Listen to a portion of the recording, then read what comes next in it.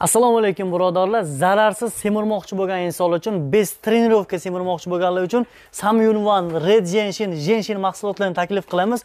Bu mahsulotlarimiz kapsula holatida bo'ladi. Bir oyda kamida 12-15 kilogrammgacha yoki 7-10 kilogrammgacha semirtirib beradi. Moskva hamda sankt peterburg shaharlarida metrogacha dostavka boshqa shaharlarga через pochta bemalol videoni ostidagi nomerlarga telefon qilib ma'lumotlarni olishingiz mumkin. Salomat bo'ling.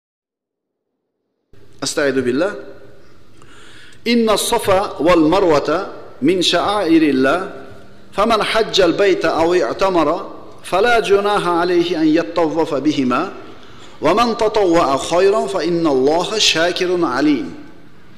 Albatta safo va marva Alloh buyurgan marosimlardandir. Mana haj qilganimizda umra qilganimizda mas'a deyiladi safo va marva o'rtasida say qilamiz shu haqida ketyapti.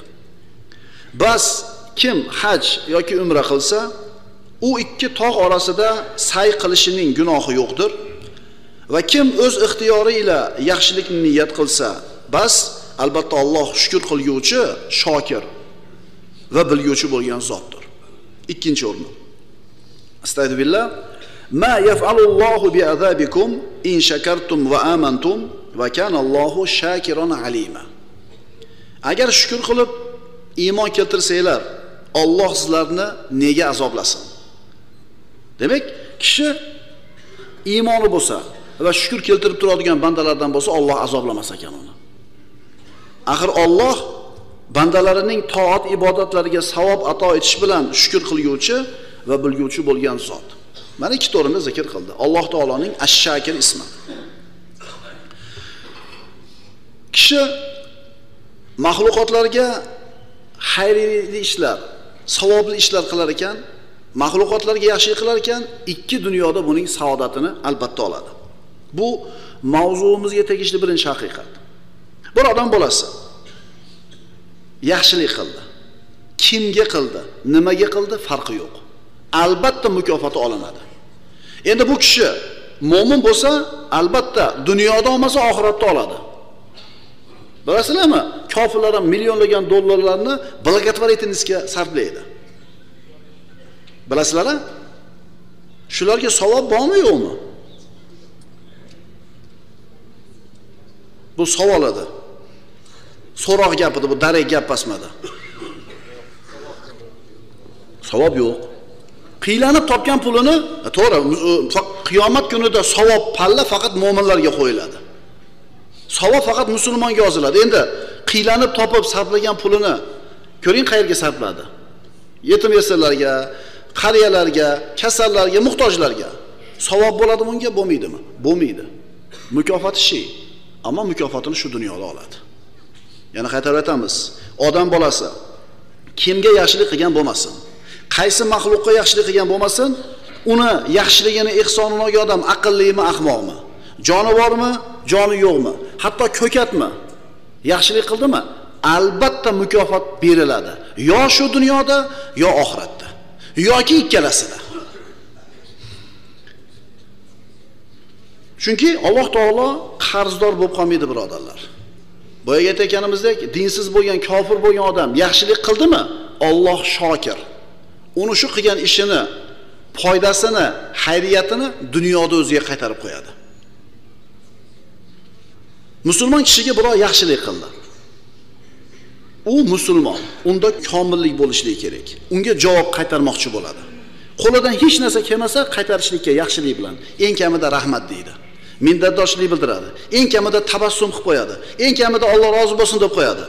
Chunki sizni yaxshiligingizni olgan taraf sizga shu yaxshiligingizni qaytarmoqchi bo'ladi. Qodir bo'lsa shu bergan narsangizga o'xshagan narsani qaytaradi. Bo'lmasa bir piyola choy qo'yib beray deydi. Yoki eng kamida nima deydi? Rahmat Alloh rozi bo'lsin deydi. Bu odam bolasi komillikka intilish kerak bo'lgan bandadan shunaqa bir roddatul fe'l qayta bir javob bo'ladi. Endi komillikni egasi bo'lgan Alloh subhanahu va taolochi Alloh uchun yaxshilik qilib qo'ysangiz banda qaytaraman deb turganda Alloh saxovat egasi karam egasi fazl egasi bo'lgan Alloh bu qilgan yaxshiligingizni qaytarmaydimi sizga? Alloh taoloni huzurida bironta hasanot bironta savob zoyi bo'lmaydi.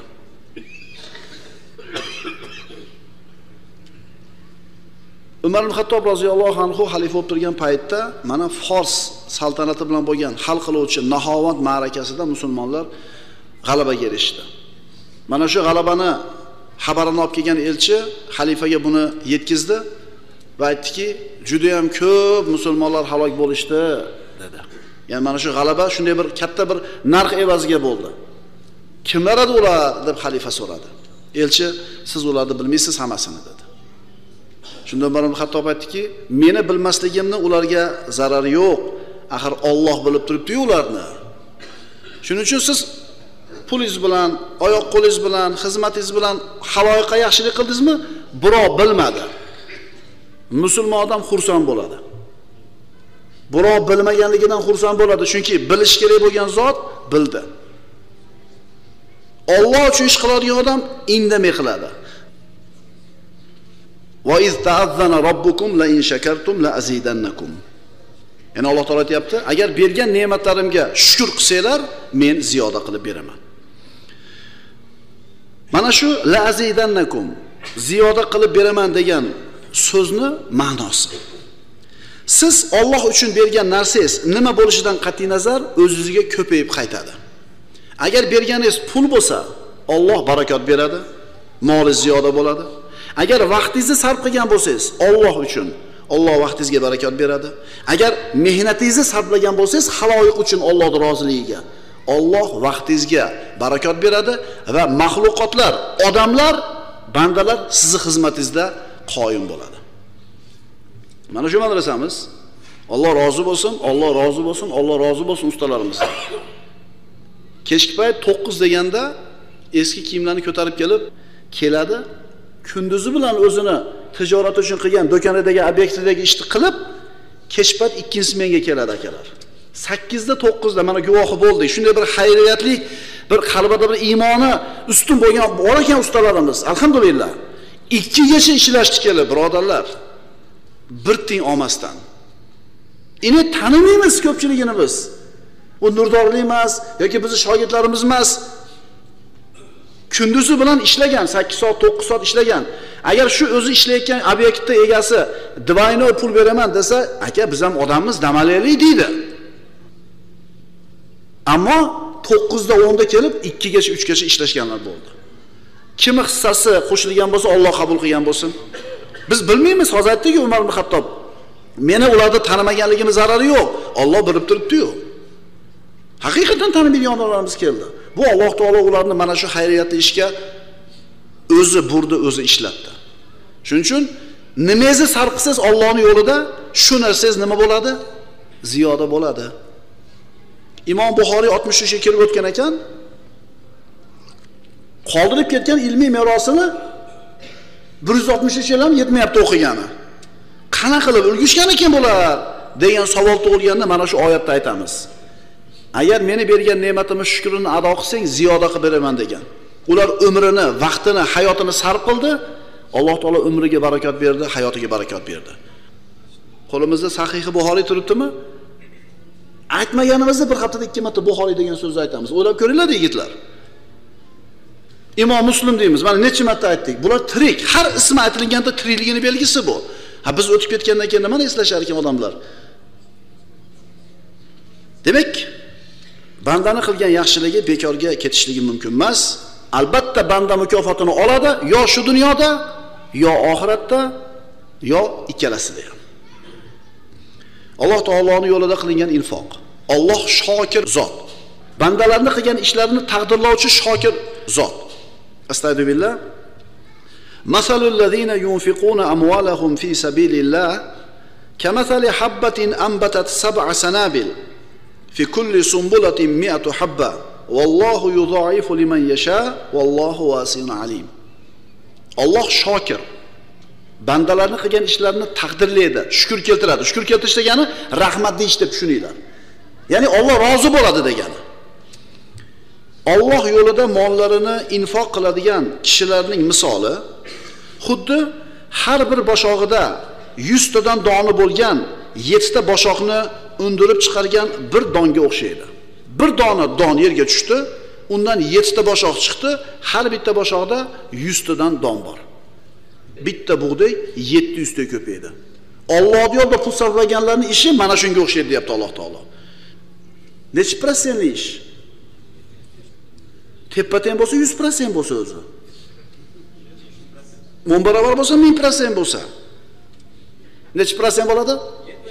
70 ming protsent bo'ladi deyishyapti. Yer yuzida shunaqa tijorat bormi? Faqat bu tijorat Alloh bilan bo'ladi. Nima uchun? Chunki Alloh ash-shakir shukr keltiruvchi bo'lgan zot. Alloh istagan kishilarga bir necha barobar qilib beradi.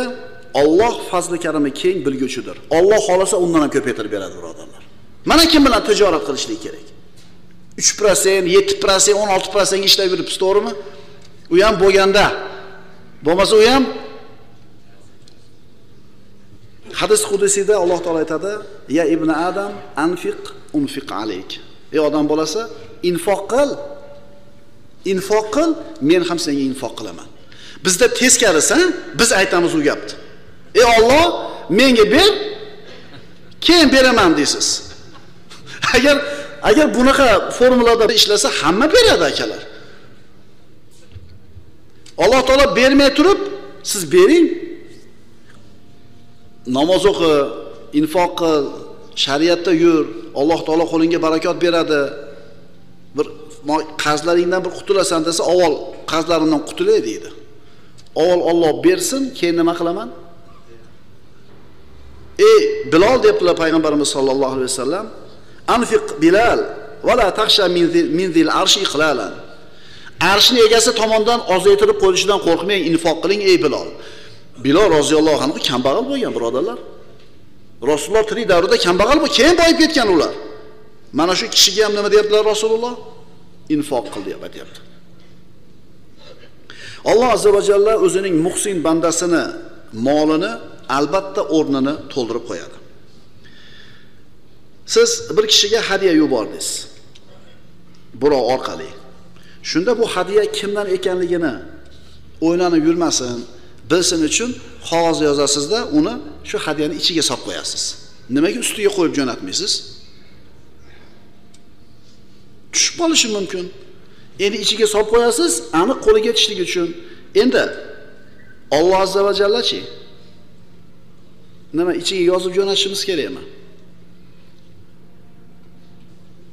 وما أنفقتم من نفقة أو نذرتم من نذر فإن الله يعلم nima infoq qilmanglar nimani nazr qilmanglar Alloh uni bilib turadi demak mana shu oyati bilan Alloh taolo qalbimizga xotirjamlik kirgizadi men bilaman deyapti Alloh taolo hech kimga ko'rsatmasdan bersang ham e'lon qilib bersang ham yashirib bersang ham men hammasini bilaman deyapti nimaga infoqni gapiryapmiz Allohni Shokir ismi haqida dars o'tyapti-ku. Birodarlar, infoq qilsanglar, Shokir, ash-shakir bo'lgan Robbimiz uni ko'paytirib beraman deyapti. Robbimiz bandadan sodir bo'lgan amalni ziyodasi bilan taqdirlaydi. Chunki u zot ash-shakir bo'lgan zot. Astagfirullah. زين lin-nasi الشهوات من minan nisa wal banin wal الذهب والفضة muqantarati min zahabi wal fiddati. Odam bolasi boylikni, moli, davlatni yaxshi ko'radi. Bu insonni tabiatiga joylangan narsa. Kimdir bildirib qo'yadi boylikni yaxshi ko'rishini, kimdir nima qiladi? Yashirib turadi, lekin hamma yaxshi ko'radi. Chunki zuyyina deyapti Alloh taolo. Chiroyli qilindi. Chunki uni yaratgan Robbisi, shu gapni gapirayotgan Robbisi chiroyli qilingan senga deb hammaga yoqadi. Odamlarga ayollar, bolalar, tuganmas oltin, kumush boyliklar, qimmatbaholi otlar, chorva va ekin tikinlar kabi istak xohishlarga ko'ngil qo'yish chiroyli qilindi. Insonni tabiati demak bu narsalarni yaxshi ko'rishligi bor ekan molni yaxshi ko'radi hamma. Insonni xohishlari bor tabiati insonga yuklatilgan taklifotlar bor. U qilish kerak bo'lgan ishlar zimmasiga yuklatilgan ishlar taklifotlar deyiladi. Demak insonni tabiati bor xohish istaklari insonni taklifoti bor zimmasida. Ko'ring. Insonni tabiati uxlashni yaxshi ko'radi. Lekin taklifot namozga tur deydi. Insonni tabiati moli dunyoni yaxshi ko'radi. Ammo taklifoti nima deydi? Infoq qil deydi. Insonni nafsi tabiati nomahramlarga qarashni yaxshi ko'radi. Lekin taklifoti nima qiladi? Buni bu narsadan man qiladi. Tabiati g'iybat qilishni talab qiladi. Lekin taklifot nima deydi? Buni qilma deb aytadi. Alloh taolo aytyapti ne bir narsani infoq ihson qilsangizlar bas Alloh uni to'ldirur. Shuning uchun topgan moli dunyosini Allohning roziligi yo'lida sarf qilayotganlar uchun shu oyat kifoya qilmaydimi? Alloh yo'lida infoq ihson qilishlikka musulmonlarni undashlik uchun shu oyat kifoya qilmaydimi? Ber to'ldirib qo'yaman deyapti. Ber ziyoda qilib beraman deyapti. Enechi Allohga kerakmi biz berishimiz bu narsalarni? Alloh bir narsaga muhtojmi? G'oniyun anil alamin. Butun olamlardan behojat bo'lgan zot. Ya abdi anfiq unfiq alayk. Ey odam bolasi infoq qil men ham senga infoq qilaman. Ey bilol infoq qiling. Arshning egasi tarafidan kamaytirilib qo'yilishidan qo'rqmang. Ibn abbosdan asokir keltiradi. Sadaqatu sirri tutfi g'azaba rob maxfiy suratda berkitib qilingan sadaqa robning g'azabini so'ndiradi. Qilgan xato kamchiligingiz robbingizni g'azabiga sabab bo'lib turgan bo'lsa infoq ihson qilsangiz robni g'azabini so'ndiradi. As sadaqatu taqau fi yadillahi qabla an taqo fi yadil faqir. Sadaqa faqirning qo'liga tushishligidan avval Allohning qo'liga tushadi. Bakiru bis sadaqa fa innal bala la yatakhattaha. Qarang. Jami sag'irdan sadaqani berishga shoshilinglar. Zero balo undan o'zib o'tib ketmaydi. Agar sadaqa qilsangiz balo to'xtaydi degani. Sadaqa bergani shoshilinglar, zero balo undan oxlab o'tib ketmaydi, o'zib o'tib ketmaydi degani. 10 so'm kuniga sadaqa. iloji bor. Yigirma so'm. Endi bu yoqqa endi anaqaga qarab? Kirishga qarab topishga qarab. Ikki kunda bir ellik so'mdan sadaqa. Iloji bormi? Iloji bor. Ya'ni bersangiz yana nima bo'lyapti yana? Qarang balodan daf alloh taolo baloni daf qilar ekan rozi bo'lar ekan ko'paytirib berar ekan g'azabini so'ndirar ekan. Nima uchun? Bandani qilgan infog'i uchun. Chunki robbimiz ashshakir bo'lgan zot. Shukr keltiruvchi bandalarning amallarini munosib taqdirlovchi bo'lgan zot. Endi bu mavzuni haqiqatini siz bilan bizga ko'rsatadigan qissalar misollar to'lib yotibdi. So'ranglar yoshlar kattalardan. O'sha palonchi xayr ehsonli inson o'sha uchun qarasang hamma yo'g'i tekis.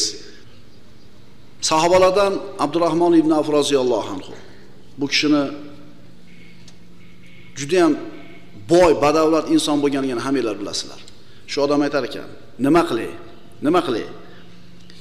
Ertalab 100 dirhamni infoq qilsam kechga borib Alloh menga 1000 dirhamni berayotgan bo'lsa infoq qilmay nima qilay der ekan. Hali aytganimizda 700 tetyosini shunday berib yuborganligini qarang shu odam zakot bermagan deyiladi.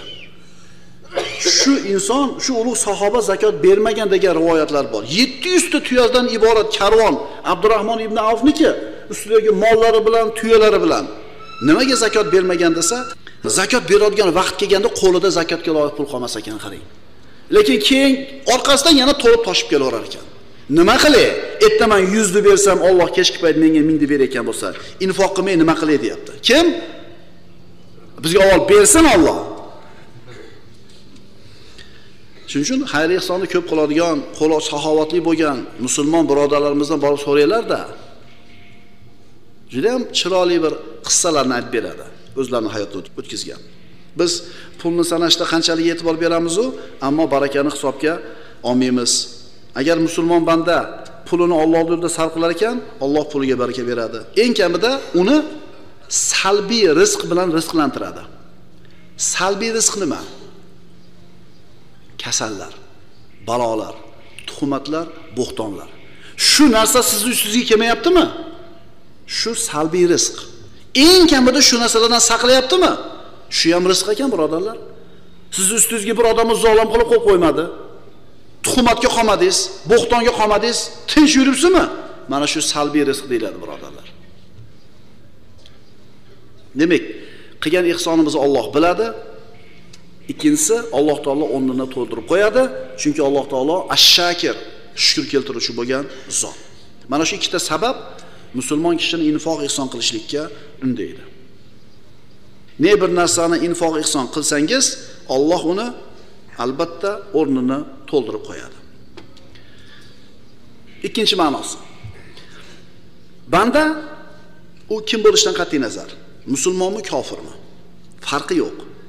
Banda maxluqotlarga yaxshilik qilar ekan bu yaxshilik Allohning zimmasiga qarzi hasana bo'lib yoziladi qarzi hasana deganda biz odamlarni o'rtasidagi muomalada siz qarz berasiz so'ramaysiz undan.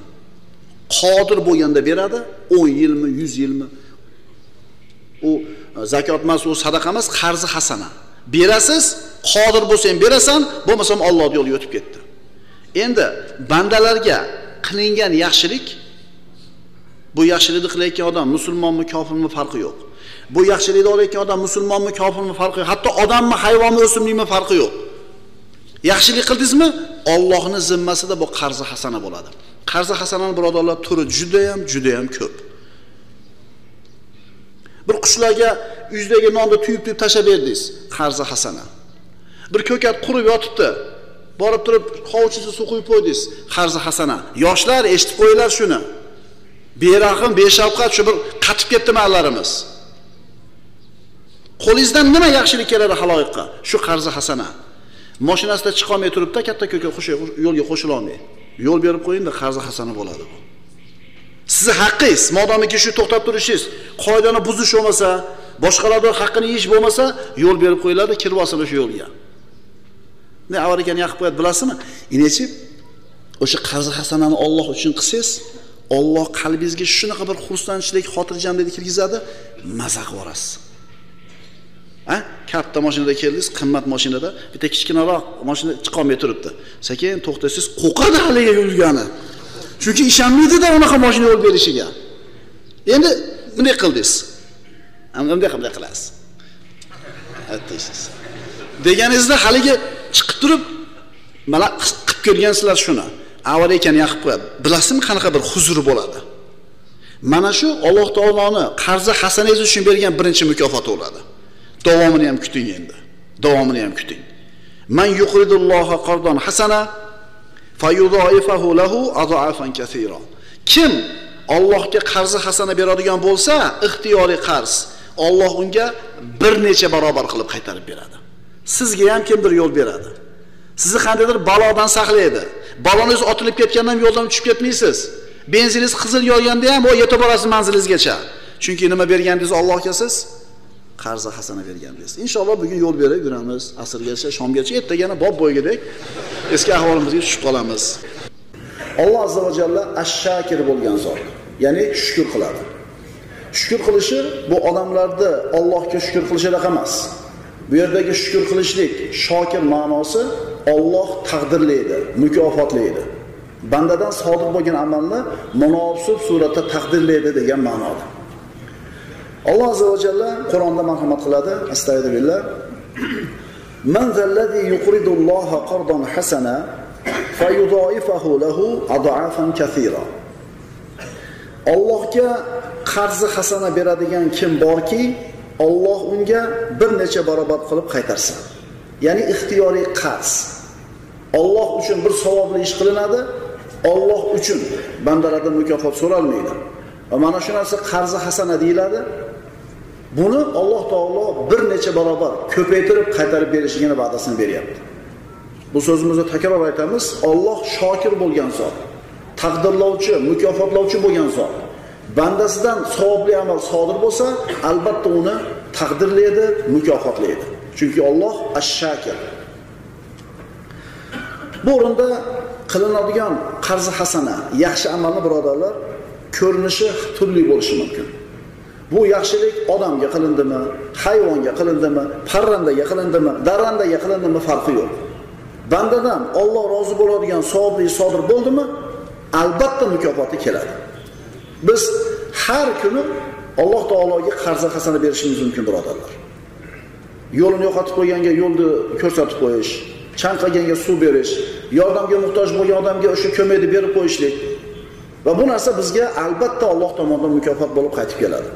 Shuning uchun hunar egalari, ustalar, qanaqa usta bo'ling, qanaqa hunar qilmang, o'sha sizni qilgan xizmatingizni to'laligicha to'lashlikka quvvat yetmayotgan faqir odam bo'lsa, qolgani bizdan sizga hadya deb qo'yavering. Ishonavering, u sizni qilgan xizmatingizga yarasha bergan puli shu dunyoda bo'ladigan ish.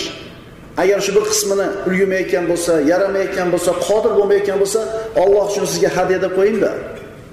Buni mukofoti qanaqa bo'lib kelishligini hayotingizda ko'rasiz. Qarzi hasanani Allohga, Alloh taologa ixtiyoriy qarz berishlikda turlari ko'p. Masalan, bir tish tabibini oldiga bir o'qituvchi ayol keldi deylik. Tishini davolatda bir kun, ikki kun keldi, u yog'iga pul yetmay qoldi. Endi bo'ldi, shu yerda to'xtatamiz, bu yog'iga kela olmayman deganda, shu tabib aytib qo'ysa, kelavering, davolanavering, qolgani mendan sizga hadya. E ollohni zimmasida birodarlar qarz qopqolmaydi to'lanmasdan. Alloh albatta ziyoda qilib beradi. Faqat vaqt o'tishi kerak. Mana shu juda ham nozik nuqta. Agar siz bugun Alloh taologa qarz hasana berishingizga ertasi kuni darrov mukofot kelsa, unda hamma ko'rib turibdi-da. Bugun bersa, ertaga olaversa. Unda birodarlar bu tijoratga o'xshab qoladi-da bu. Bugun berdi, ertaga olasan desa, hamma beradi-da. Shuning uchun o'rtada vaqt albatta o'tishligi kerak. 1 yil o'tar, 5 yil o'tar, 10 yil o'tar, lekin Allohga o'tkazib qo'ygan yaxshiligingiz sizga qaytmasdan qolmaydi. Agar bu dunyoda, bu dunyoda qaytmasa, albatta oxiratda qaytadi. Alloh taolo sizni mukofotlaydi. Masalan, salbiy rizq bilan rizqlantirib qo'yadi. Salbiy rizq nima edi? Ustingizga dard bermaydi. Qarzga kirgizib qo'ymaydi. Biror zolimni ustingizga bir hokim qilib qo'ymaydi. Mana shularda bari birodarlar salbiy rizq bo'ladi. Harom ish qilishlikka hech qanday bir majburiyatingiz bo'lmaydi. Alloh uzoq qilib qo'yadi. Demak, Alloh taologa qarzi hasana, ixtiyoriy qarz beradigan kim borki, Alloh unga bir necha barobar qilib qaytarsin. Shuning uchun birodarlar, qo'limizdan kelganicha yaxshilik qilaylik. Insongami, hayvongami, parrandagami, o'simlikkami, o'sha qurib yotgan chanqab turgan daraxtga, chanqab turgan o'simlikka suv quyib qo'ying, qarzi hasana. U sizga hech qachon qaytara olmaydi uni. Ammo uni Robbi sizga albatta qaytaradi. Chanqab yotibdi bir hayvon. Ha, uyda qo'y borlar bormi? Qo'yga suv berdingmi deysizlar. Ha, dada berdi. Borsangiz nima bo'lib turgan bo'ladi? Ey, ukalar, ko'zinglarni ochinglar.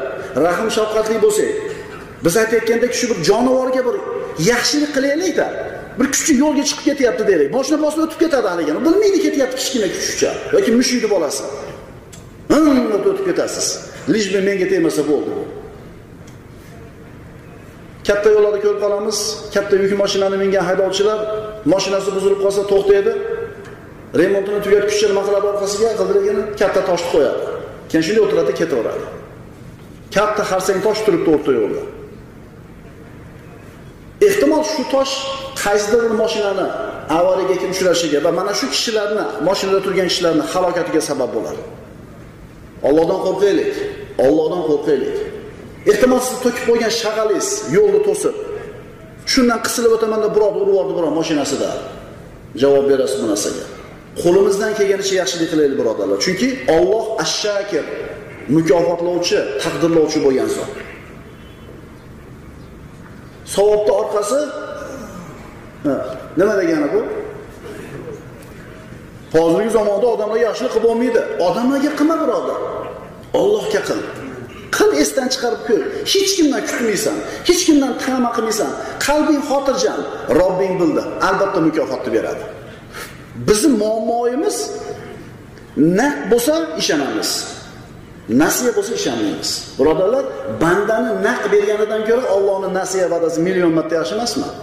E menga qarzi hasana o'tkazib qo'y, men ko'paytirib qaytarib beraman desa, ishonolmayaptida odamlar.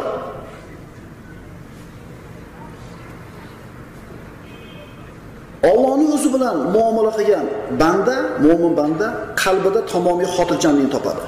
Qalbi xotirjam. Agar shu banda muhsin bo'ladigan bo'lsa, haloyiqqa, maxluqotlarga yaxshilik qilishi bo'lsa, bu odamning qalbida tamomiy xotirjamlik bo'ladi. Demak, birodarlar, kimga yaxshilik qilgan bo'lmaylik? Nimaga yaxshilik qilgan bo'lmaylik? Musulmonmi kofirmi? Hayvonmi hasharotmi? Kimga yaxshilik qilgan bo'lmaylik birodarlar? Buni bizga albatta mukofot qaytadi. Agar bir davlatni podshosi o'zini fuqarolaridan bittasini chaqirib bir faqir kishini menga 500 so'm qarz berib tur desa buni nima deb tushunamiz? Bu podshoh shu odamga bir katta bir xayriyatni bermoqchi edi. Bir uyni hadya qilmoqchi edi. Endi shu podshohga bo'lgan shu faqirni muhabbatini ixlosini sinamoqchi bo'lib turib 500 so'm berib tur degan edi. O'zi 500 so'm kerakmidi bu podshohga? Shu kambag'aldan. Yo'q uni muhabbatini sinamoqchi edi. Alloh taolo menga qarza hasana berib turinglar deyapti. Ko'paytirib beraman desa bandalar berolmayapti shuning uchun birodarlar yana qaytarib aytamiz. Kim alloh taologa ixtiyoriy qarz qarzi hasana bersa olloh nima qiladi uni?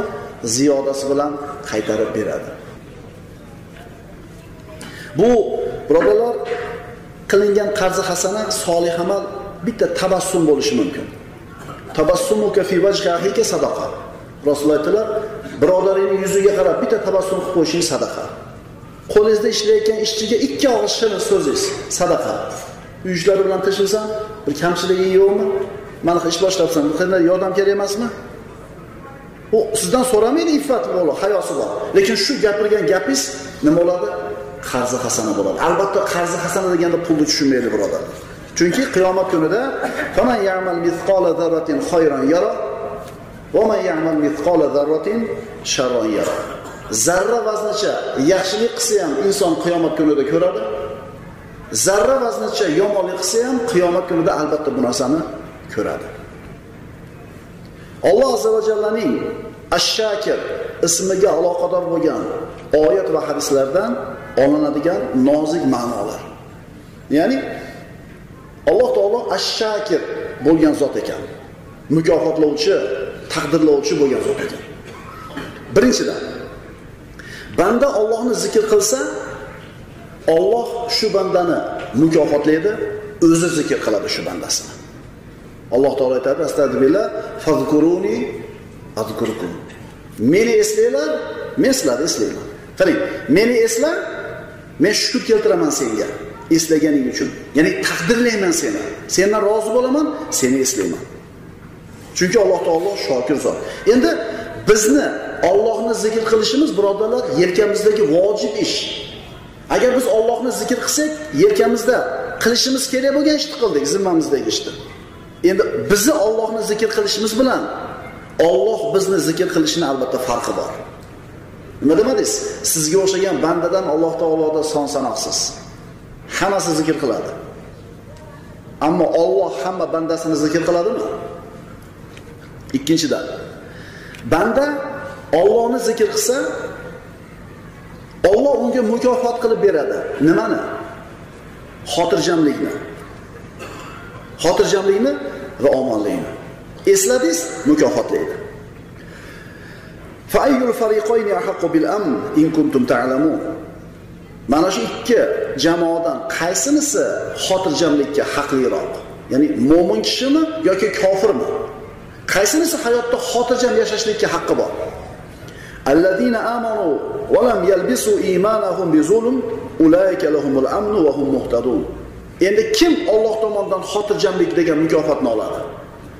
Iymon keltirgan o'z iymonlarini zulm bilan aralashtirmagan zotlar ana o'shalar xotirjam bo'lguvchidirlar mo'min Allohni zikr qilar ekan Allohni qulchiligida turar ekan Alloh uni albatta mukofotlaydi chunki Alloh ash-shakir bo'lgan zot.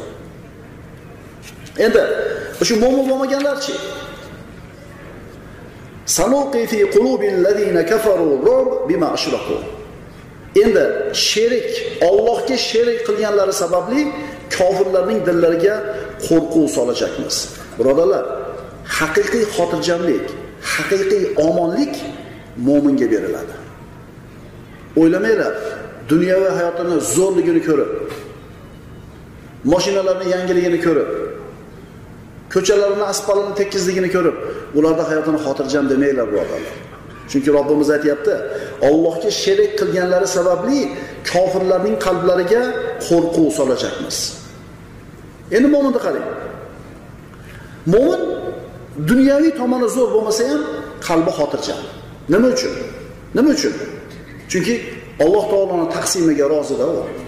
Alloh azza va taqsimiga rozi. Qarang masalan mo'minda xotirjamlik bor. Narx oshib ketar ekan benzin sakson besh so'm bo'lar ekan desa eshityapsizlarmi shu gaplarni? Haqiqiy mo'min nima deydi? Narx oshib ketyapti desa rizqimiz ollohni qo'lida deydi. Xotirjam. Zo'r a biroq qo'rqitsa hasbunallohu va ni'mal vakil deydi. Xotirjam. To'g'rimi? Kimda bor bu narsa? Biron bir musibat kelsa mo'minga nima deydi? Inna lillahi va inna ilayhi rojiun. Alloh shuni xohlagan ekan shu narsa bo'ldi. Kimda bor bu xotirjamlik? Mo'minda nima uchun bor bu mo'minda bu xotirjamlik? Chunki Alloh robbisi shokir. Allohni zikr qilganligi uchun, Allohni qo'lchiligida turgani uchun uni qalbiga shu xotirjamlikni beradi. Ishi yurishsa ham alhamdulillah, ishi yurishmasa ham alhamdulillah. Ishlaringiz qalay desa,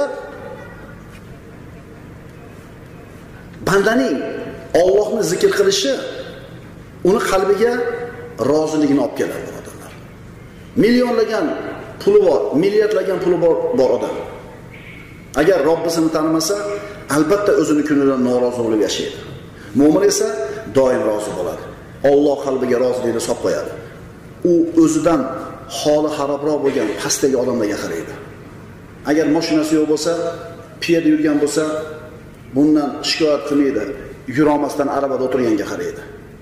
Arabada o'tirgan bo'lsa, gapira olmasdan, harakatlanolmasdan insult bo'lib olayotganga qaraydi. Birodarlar, mo'minning qalbiga Alloh xotirjamlik beradi. qanchalar Allohga yaqin bo'lsak, qanchalar Allohning ibodatida sobit bo'ladigan bo'lsak, birodarlar, xotirjamlik shuncha ko'p bo'ladi, ziyoda bo'ladi. 4-dan Allohni zikr qilgan bandaga Alloh taolo shukr keltiradi. Ya'ni taqdirlaydi mukofotlaydi, unga hikmatni ato qiladi. Hozirgi holi xarob bo'lgan odam o'zidan pastga qarayotganligi hikmat emasmi? Hikmatni ayni o'zi ha ishim yurishmayotgan bo'lsa qo'l putim sog'u deydi. Ha tishim og'riyotgan bo'lsa yuragim sog'u deydi. Hikmat emasmi shu? Beshinchidan muhammad sollallohu alayhi vasallam u zotni zikrini alloh taolo oliy qildi. Va rafa'na laka zikrok va biz sizning zikringizni martabangizni baland qilib qo'ydik Ulamolar aytadi, mana shu oyatdan har bitta mo'minga ulush bor. Allohni qancha eslasa, Allohga qancha taqvo qilsa, Alloh uchun qancha amalni ko'p qilsa, qanchalar Allohga yaqin bo'lsa, Alloh shu bandasini ham zikrini ko'taradi, martabasini ko'taradi. Ixlosimizga, taqvoyimizga yarasha martabamizni Alloh ko'taradi. Agar Alloh sizni martabangizni ko'targan bo'lsa, chunki shokirda Robbingiz sizni qilgan amalingizni taqdirlab, sizga shukr keltirib, sizni mukofotlasa, odamlarning qalblariga sizga bo'lgan muhabbatni joylab qo'yadi. Eslaylik, Alloh azza va jalla hadis qudusida Jabroil alayhisalomga aytdi: "Ey Jabroil, men falon bandani yaxshi ko'rdim, sen ham yaxshi ko'r." Jabroil alayhisalom yaxshi ko'radi. Jabroil alayhissalom samo ahli maloikalarga aytadi: "Ey samo ahli maloikalar, Alloh falon bandani yaxshi ko'rdi, sizlar ham yaxshi ko'ringlar. Ular ham yaxshi ko'radi. Samo ahli yer ahliga nido qiladi. Biz buni eshitmaymiz. Ey yer ahli, Alloh, Jibril va biz falon bandani yaxshi ko'rdik, sizlar ham yaxshi ko'ringlar deydi. Tanimaysiz, gaplashmagansiz, sizga bir foydasi tegmagan, lekin haligi odamni ko'rganingizda qalbingizda unga nisbatan iliqlik paydo bo'ladi. Nima uchun? Chunki Robbingiz shokir bo'lgan zot. Sizni qilgan yaxshi ishingizni albatta mukofotlaydi. Odamlarni, haloyiqni qalbiga muhabbatni joylab qo'yadi.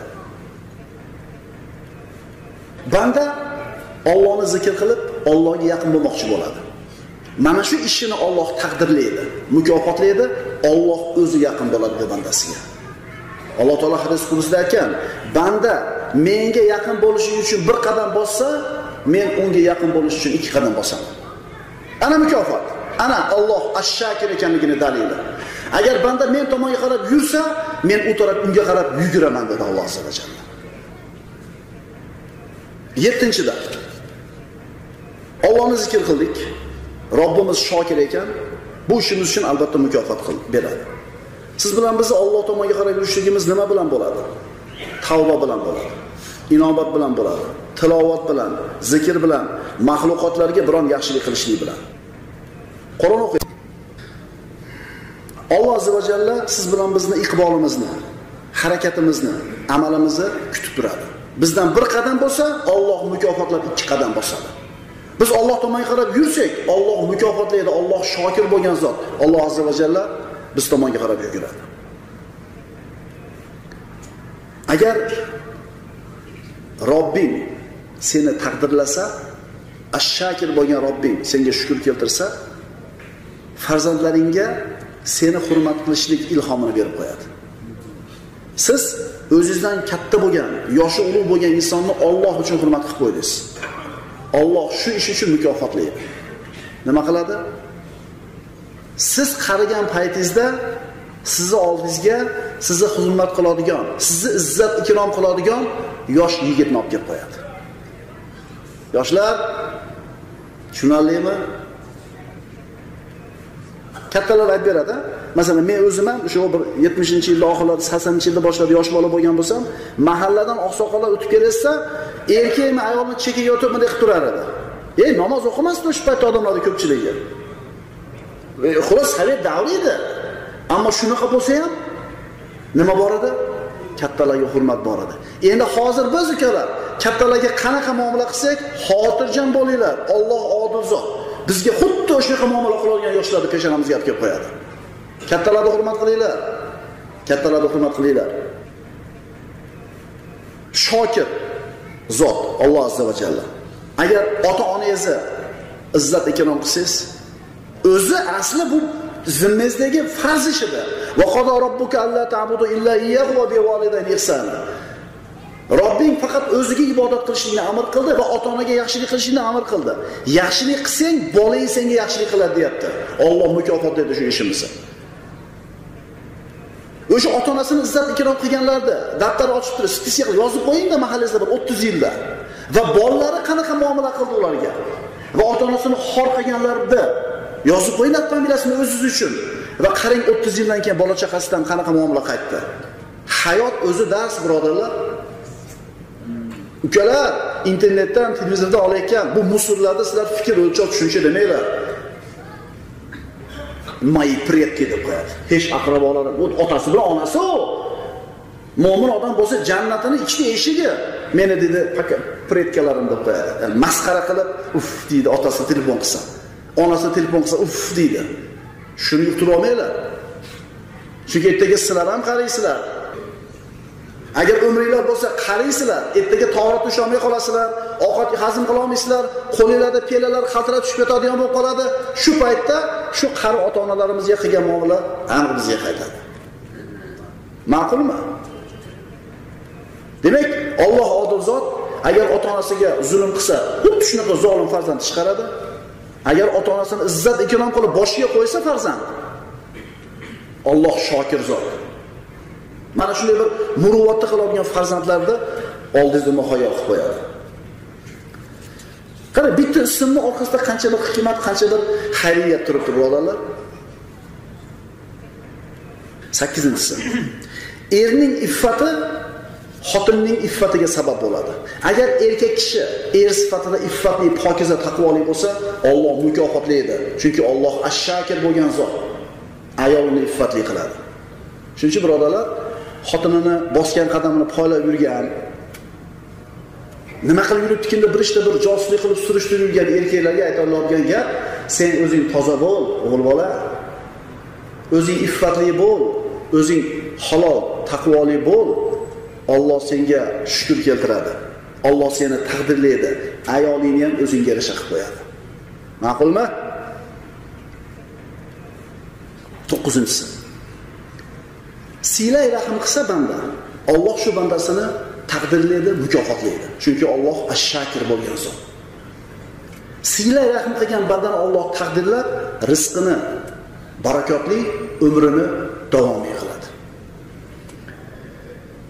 Umrni barakotli bo'lishi degani nima degani birodarlar? Imom buxoriy 63 yil umr ko'rgan lekin qancha ishga ulgurgan? Imom shofiy 60 ga yetmasdan vafot etgan. Qancha narsaga ulgurgan imom navoiy 45 ga kirib o'tgan qancha narsaga ulgurgan mana shu narsa umrning barakotli ekanligini dalili bo'ladi. Yana shunaqa odamlar bor. 80 yil 90 yil ehtimol 100 yil umr ko'radi o'zidan keyin hech narsa qoldirmaydi. Jamiyatga hech qanday foydasi tekkan emas. Hech qanday bir asari qolmaydi. O'lganda zikri ham o'chadi. Shuning uchun ayrim ulamolar aytishadi umrning qiymati qadri unda qilingan solih amallar bilan o'lchanadi. Agar siz 80 yil umr ko'rib ummatga xalqingizga vataningizga hech qanday foydangiz tegmagan bo'lsa demak siz yashamabsiz. Bu ma'nolar ukalar vatanimizga xalqimizga xizmat qilishimiz kerakligini bizga uqtiradi. Qo'lingizdan kelsa eshigingizda turgan yamaga ikki lopatga shag'al solib to'ldirib qo'ying. Mana shu ham qarza hasana bo'ladi. Hech kim rahmat bermaydi sizga buning uchun. O'tgan safar aytdimmi bir solih odam solih deb gumon qilamiz porterga meshalka bilan betonni solib olib ayrim ko'chalarni yamalarni yamab yuribdi ekan. Olloh albatta mukofotlaydi shu bandani. Allohimiz ixlosiga barakot bersin. Albatta taqdirlaydi olloh chunki hech kimlar kechasi qilar ekan saharga borib qilar ekan birov ko'rmay qolar ekan. Yo'q, quyib qo'yar ekan ertaman qo'limizdan kelmaydimi? Kelmaydi. Biz yotamiz sahar. O'zi hasharga aytsa borgimiz kelmaydiyu biz to'g'rimi? Tog'ang tomga loy bosyapti ekan. Hasharga borib qo'y desa nima qilasiz? Bahona istaysiz. Agar bahona topishni uddalay olmasangiz majbur borasiz. Nechida? O'n birda. Obedni qilasiz uch kun yana nima qilasiz? Endi jiyanlaringiz sizni xabar olmasa siz ham tomingizga loy solayotganda kela xabar olmasa nima qilmang? Chunki olloh qanaqa zot? Odil zot. Siz borganingizda shokir zot edi. Sizga ham jiyanlaringizni jo'natardi uyingizga to'g'rimi? Ana ko'rib qo'yinglar nima uchun jiyanlar amaki tog'alarni hurmat qilmay qo'yyapti nima uchun kattalarni gapi yoshlarga o'tmayapti chunki kattalar unga loyiq bo'lmayapti o'zlari demak haqiqiy umr bu solih amallar umri. O'ninchidan keksani hurmat qilgan kishiga alloh taolo shukur qiladi keltiradi. Taqdirlaydi mana shu hurmat qilgan yoshni qarigan paytida uni hurmat qiladigan yoshlarga ro'baro qiladi. Rasululloh aytadilar imom termiziydan bu hadis anas ibn malik roziyallohu anhu qol qol rasululloh sollallohu alayhi vasallam ma akrama shabun shayxon li sinnihi illa qayyadallohu lahu man yukrimuhu inda sinnihi. Bir yigitki yoshi ulug' shayxni ikrom qilar ekan uning ham yoshi ulg'ayganida unga hurmat ko'rsatadigan insonni yuborib qo'yadi biriktirib qo'yadi. Qaraganingizda hurmat e'tiborli oqsoqol bo'lasiz. Mana shu alloh taoloning ashshakir ismining ayrim ma'nolari. O'n birinchidan maxluqotlarga yaxshilik qilgan kishiga olloh shukur keltiradi ya'ni taqdirlaydi mukofotlaydi. Darsimiz avvalida aytib o'tdik sizni yaxshiligingizni ko'rgan taraf odammi hayvonmi farqi yo'q. Sizdan yaxshilik sodir bo'ldimi?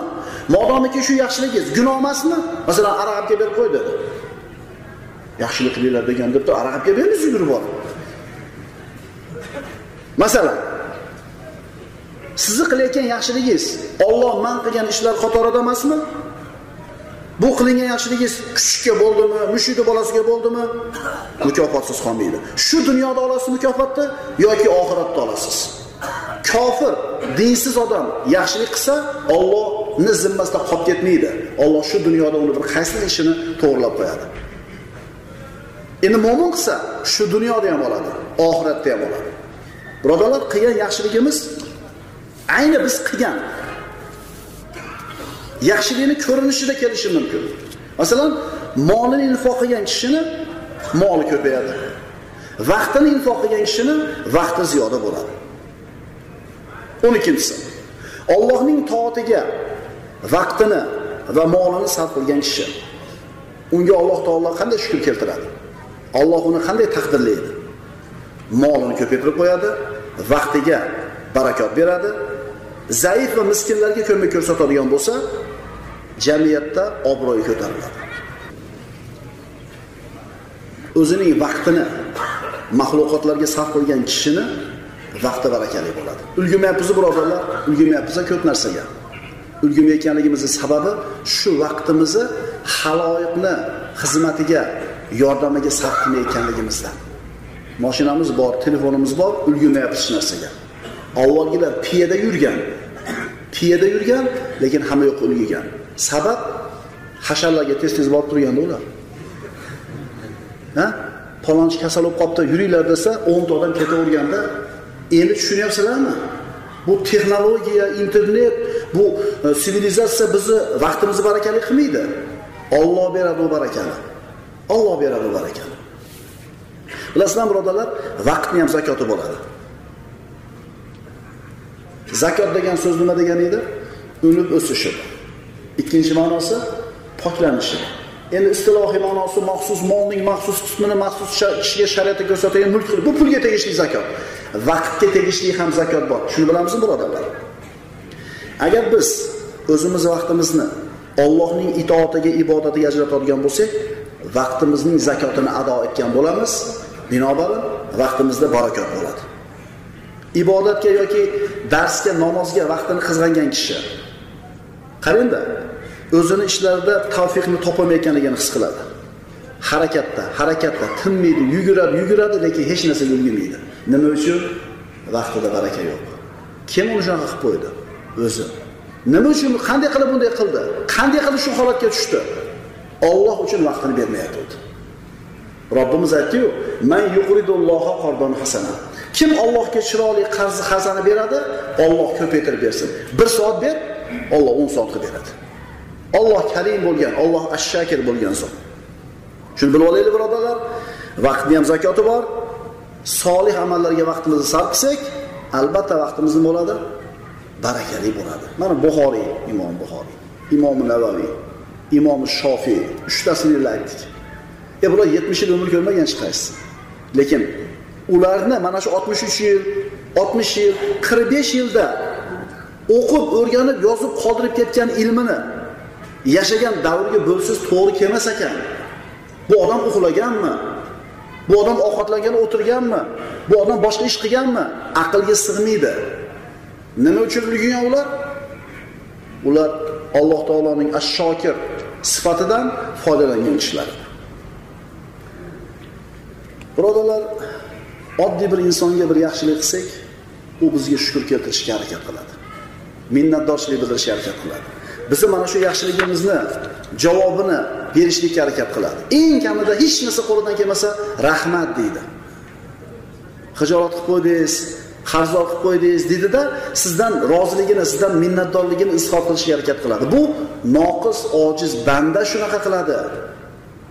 Endi birodarlar, oddiy bir insonga qilingan yaxshilikni mana shunday taqdirlashga banda harakat qilsa, komillikning egasi, asmoil husnoning egasi, xoliqul kavm bo'lgan ashshaki Robbimiz azza va jalla bandalarni qanday taqdirlar ekan?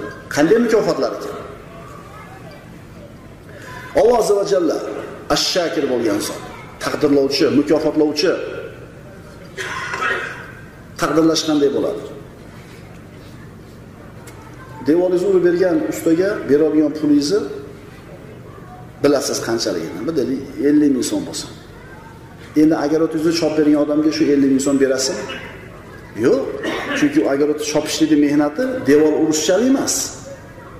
To'g'rimi? To'g'ri. Alloh taolo eng katta ishlar uchun beradigan mukofotni arzimagan ishingiz uchun ham berib qo'yadigan zot. Alloh Karim, Alloh Ash-Shakir bo'lgan zot. Birodalar, bitta itni chanqog'ini ko'rib sug'orib qo'ygan kishi uchun berilgan mukofot qanday bo'lganini bilasizlarmi? An Abi hurrat radhiyallohu anhu anna Rasululloh sollallohu alayhi vasallam qol Baynama rajulun yamshi fashtadda alayhi al-atash.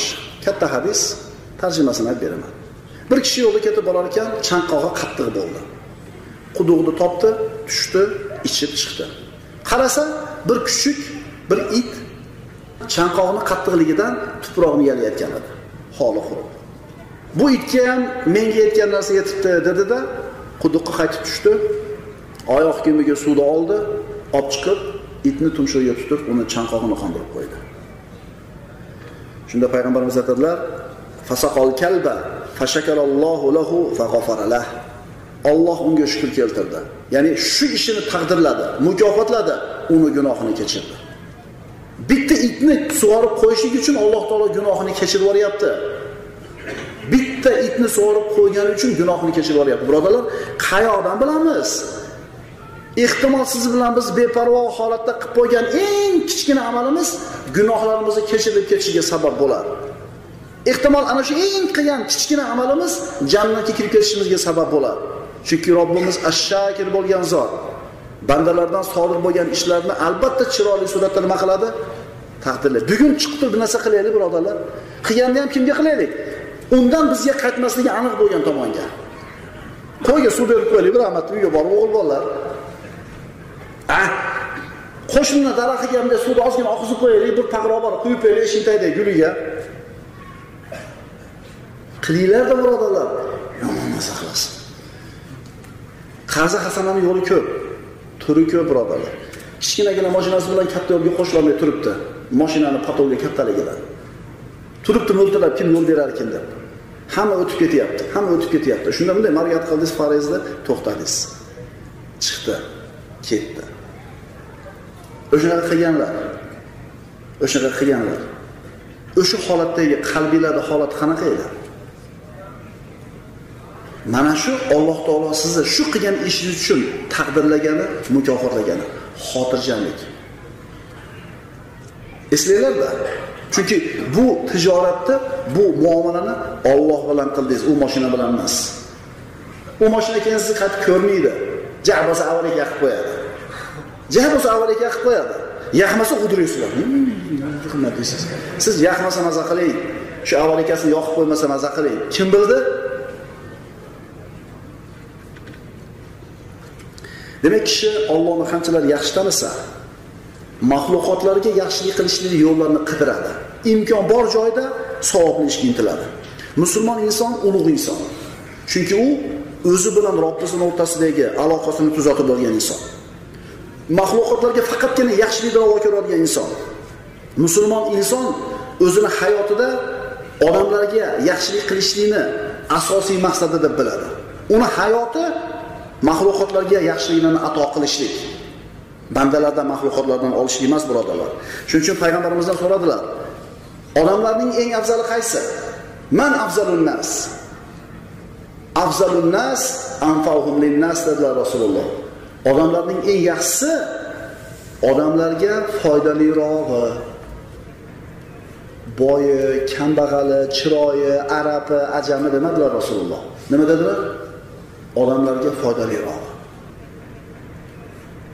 14-si yo'lda yotgan odamlarga aziyat beradigan narsani olib qo'ygan kishiga Alloh taoloning shukr keltirishi. Alloh taoloni mukofotlashi. An Abi Hurayra roziyallohu anhu muttafaqun al hadis bu muttafaqun alayhi bo'lgan hadis. Baynama rajulun yamshi tariqi wajada ghusna shawkin ala tariq. Fa akhadahu fa shakara allohu lahu fa ghafara lahu. Bir kishi yo'lda ketib borar ekan, yo'lda yotgan bir tikonni shoxchasini ko'rdi.